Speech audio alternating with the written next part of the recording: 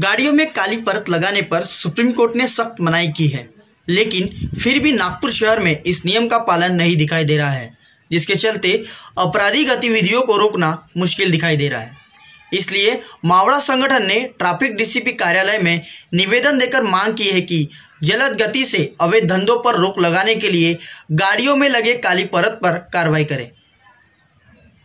पहले तो हर हर महादेव हम लोग आज मावड़ा संगठन के माध्यम से ट्रैफ़िक डीसीपी साहब को निवेदन देने आए थे।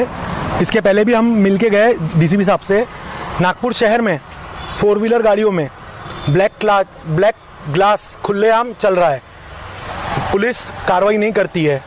पुलिस कार्रवाई के नाम पे दिखावा कार्रवाई चल रही है। इस ब्लैक क्लास की आड़ में नागपुर शहर में कई अवैध धंधे चल रहे हैं। दारू, गांजा एमडी हम देखा जाए, फुटारा तालाब सेमनरी हिल्स या नागपुर के आउटर रोड्स पे black class black glass car में कई गैरकानूनी काम होते हैं। इसको रोकना चाहिए और इसी का निवेदन लेके आज मावड़ा संगठन की तरफ़ से जिला प्रमुख विनोद कल्याणी मेरे नेतृत्व में महिला गाड़ी की टीम के साथ हम लोगों ने डीसीपी साहब से निवेदन दिया और ये भी बोला कि अगर इस पर जल्द से जल्द कार्रवाई नहीं होती है तो संगठन की तरफ से इसका विरोध आंदोलन किया जाएगा। त्यांनी सांगितलं आम्ही डिसेंबरमध्ये भरपूर हे पकडले आकडा पण दिलाय त्यांनी आठ हजाराच्या जवळपास. तरी पण जसं पाहिलं तसं होत नाही आहे कारण की सगळेजण चालान कापण्यासाठीच उभे राहिलेले आहेत आणि ब्लॅक कल्चरमध्ये काही दिसत नाही आहे तर हे डेली व्हायला पाहिजे.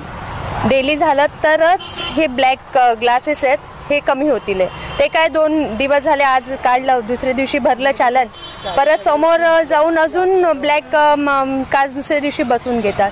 त्याच्यामुळे हे जे आहे ना हे थांबलं पाहिजे. याच्यासाठी पोलिसांनी पण आम्हाला मदत केली पाहिजे. करतात तसं नाही नाही करत. पण अजून डेली जर रोजचं केलं त्याच्यावर रोजचे चालन फाटले तर हे ब्लॅक काच हे बंद होऊन जातील. जर पोलिसांतर्फे ही कारवाई करण्यात नाही आली तर नेमकी कशा प्रकारची भूमिका मावळा संघटनातर्फे मग आम्हाला उतरावं लागेल.